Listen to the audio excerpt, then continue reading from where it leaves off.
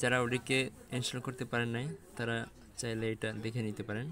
প্রথমে প্লে স্টোরে যাবেন। প্লে স্টোরে গিয়ে ওটিকে সার্চ দেবেন।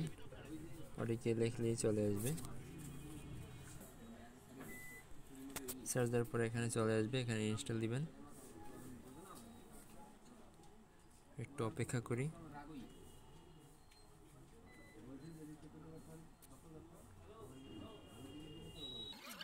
ইনস্টল হয়ে গেলে ওপেনে দিবেন। ওপেনে ক্লিক করার পরে কারণ পেজ সামনে আসবে।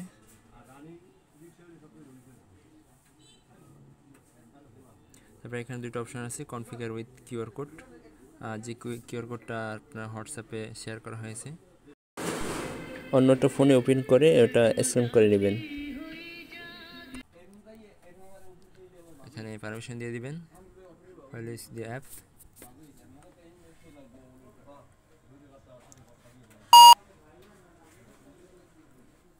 আচ্ছা এখানে হয়ে গেল কনফিগার করা। তারপর এখানে আপনার এখানে কিছু অপশন দেখছেন start new form draft ready to send send download form আর নিচে আছে যে ডিলিট ফর্ম এখানে আপনারা ডাউনলোড ফর্মে ক্লিক করবেন। আচ্ছা এখানে আপনারা দেখতে পাচ্ছেন রিফ্রেশ আছে ক্লিয়ার অল আর গেট স্টার্ট এখানে সবগুলো টিক মার্ক দেওয়া আছে। আর টিক উঠিয়ে দিতে পারেন। আর উঠিয়ে শুধু আপনি বরগুনা ডিস্ট্রিক্ট চেক লিস্ট এটা ডাউনলোড করে নেবেন get get select all download success আচ্ছা এখন আপনার যাবেন স্টার্ট নিউ ফর্ম এখানে ক্লিক করবেন বরগুনা ডিস্ট্রিক্ট চেক লিস্ট। এগুলো সুন্দরভাবে পরে নেবেন। তারপর নেক্সট অংশগ্রহণকারী আইডি।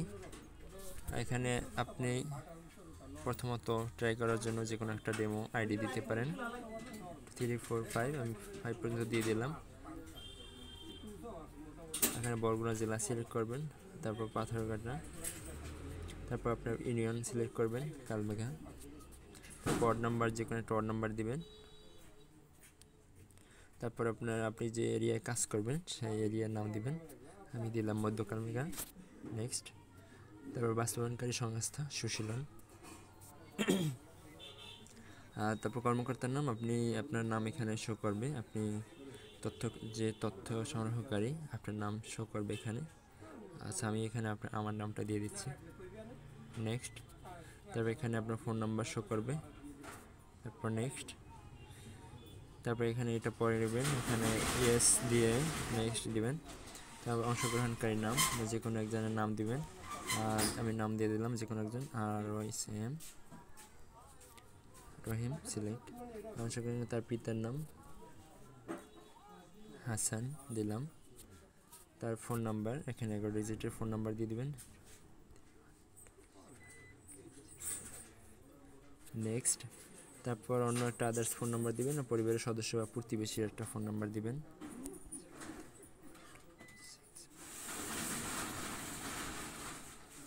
তারপর এখানে আপনার অংশগ্রহণকারী তথ্য, মোবাইল নম্বরটির মালিক কার নাম্বার দিয়েছেন? এখানে শেষের যে নাম্বারটা দিয়েছে, এটা কার নাম্বার? এখানে যার নাম্বার? স্বামী অথবা স্ত্রী হতে পারে, পিতার হতে পারে, মাতার হতে পারে যে কোনো যেটা সিলেক্ট করে দিবেন নেক্সট দিয়ে দিবেন। তারপর আপনার তথ্য সংগ্রহকারীতে যে অংশগ্রহণ করেছে, অংশগ্রহণকারী তথ্য, এখানে সে কি বিবাহিত না অবিবাহিত? বিবাহিত হলে বিবাহিত দিয়ে দিবেন। প্রথমে রহিম নিয়েছিলাম। রহিম আহ, অংশগ্রহণকারী তথ্য রহিম নিয়েছিলাম এখানে স্পোজ নেম স্বামী বা স্ত্রীর নাম। এখানে তার স্ত্রীর নাম দিয়ে দিবেন।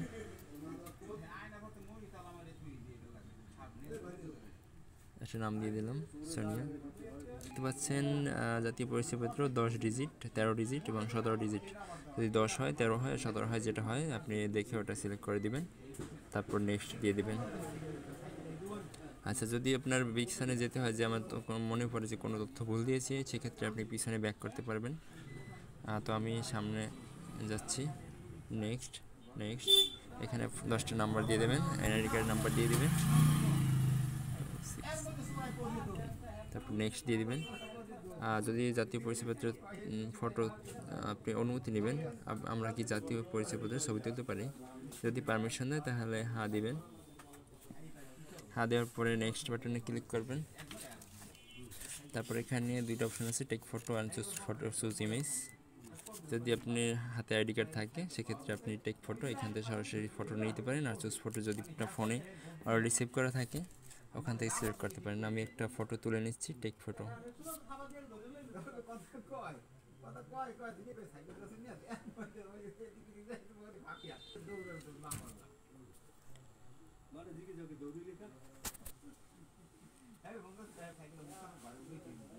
তারপর টিক মার্ক দেবেন।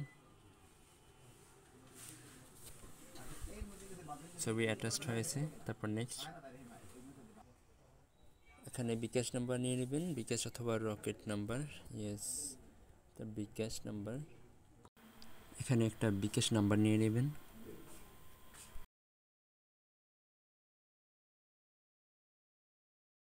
বিকাশ নাম্বার নেওয়ার পরে নেক্সট তার পরিবারের কি ঘূর্ণিঝড়ে জলশ্বাসে ক্ষতিগ্রস্ত হওয়ার সম্ভাবনা আছে? অবশ্যই আছে, থাকারই কথা।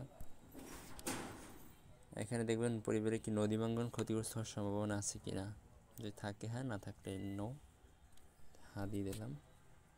তারপর আশ্রয় নেই, অন্যের বাড়িতে থাকেন অথবা খড়, ছনের ছাদ দিয়ে তৈরি, টিনের ছাদ দিয়ে দিলাম।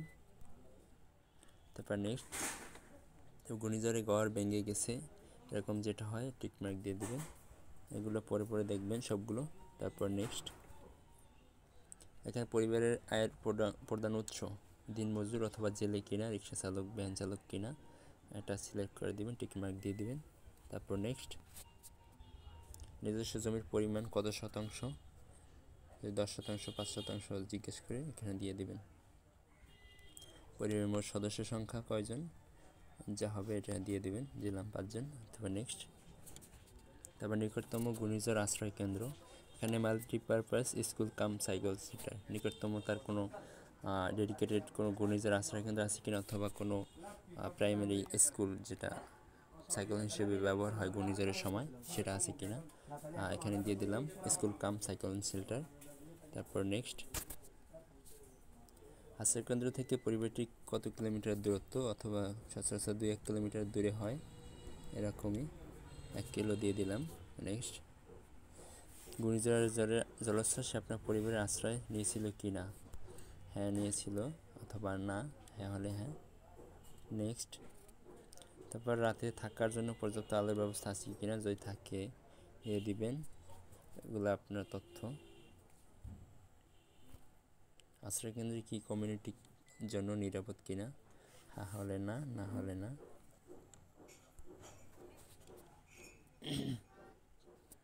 এখানে এগুলো পরে পরে দিয়ে দিবেন। স্যানিটেশনের ব্যবস্থা ছিল কিনা? টয়লেটের ব্যবস্থা আছে কিনা? আলোর ব্যবস্থা আছে কিনা? এগুলো পরে টিকমার্ক দিয়ে দিবেন। বিপদাপন্নতার ধরন। এখানে বয়োজ্যেষ্ঠ ষাট বছরের বেশি ব্যক্তি রয়েছেন কিনা যদি থাকে হ্যাঁ অথবা না হ্যাঁ দিয়ে দিলাম। পরে বিধবা, পরিত্যক্তা, তালক প্রাপ্তা নারী আছে কিনা হ্যাঁ দিয়ে দিলাম। না থাকলে না দিয়ে দিবেন। পরিবারের শিশু সদস্য বাইরে দিনমজুর কাজ করছে কিনা যদি হ্যাঁ অথবা হ্যাঁ গর্ভবতী বা স্তন্যদায়ী মা রয়েছে কিনা তো খানার সদস্যদের মধ্যে প্রতিবন্ধী ব্যক্তি রয়েছে কিনা নারী প্রধান খানা না পুরুষতান্ত্রিক না নারীতান্ত্রিক? এটা নারী প্রধান অথবা পুরুষ প্রধান? ক্ষুদ্র নির্গোষ্ঠী আদিবাসী খানা কিনা নো? পরিবারের সম্পূর্ণ মালিকানাধীন পশুর সংখ্যা কয়টা আছে? মনে করেন পাঁচটা আছে। এখানে আংশিক মালিকানাধীন পশুর সংখ্যা কয়টা? তিনটা দিলাম। পাঁচটা তো থাকার কথা না মধ্যবিত্ত।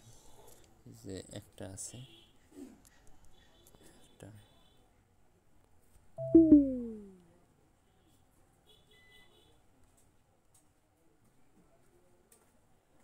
স্টার্ট জিও পয়েন্ট এখান থেকে আপনার লোকেশন ট্র্যাক করা হবে।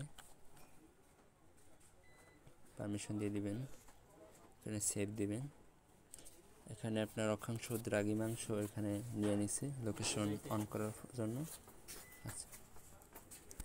তারপর এখানে আপনি নেক্সট দিয়ে দিবেন। তারপর যদি কোনো সুপারিশ থাকে, সুপারিশ দিয়ে দিবেন। বিশেষ কোনো সুপারিশ থেকে থাকলে সুপারিশটা দিয়ে দিবেন। তারপর নেক্সট দিবেন। দেওয়ার পরে ফাইনালাইজ দিবেন, অথবা সেভ টু ড্রাফে দিতে পারেন। আর যদি আপনার মনে হয় যে তথ্য সঠিক, সেক্ষেত্রে আপনি ফাইনালাইজ দিয়ে দিবেন। ফাইনালাইজ দেওয়ার পরে আমাদের এখানে দেখতে পাচ্ছেন রেডি টু সেন্ড এখানে আমাদের অফিসে জমা দেওয়ার জন্য একটা রেডি হয়েছে, একটা তথ্য। এখানে দেখতে পাচ্ছেন, একটা রেডি হয়েছে। এই যে আপনি কোন সময় সাবমিট দেওয়া হয়েছে, এখানে সবই শো করতেছে। তখন যখন দিবেন সেন্ড করবেন, তখন এই টিক মার্ক দিয়ে আর যদি সেন্ড সিলেক্টেড দেন, তাহলে এটা সেন্ড হবে। এটা দিবেন আপনি একবারে করা শেষ হলে। তারপর আপনি নতুন যখন কোনো ফর্ম পূরণ করা শুরু করবেন, তখন আবার স্টার্ট নিউ ফর্মে ক্লিক করবেন। আবার বরগুনা ডিস্ট্রিক্ট চেকলিস্ট এখান থেকে আবার নতুন ফর্ম ফিল শুরু হবে। ধন্যবাদ সকলকে।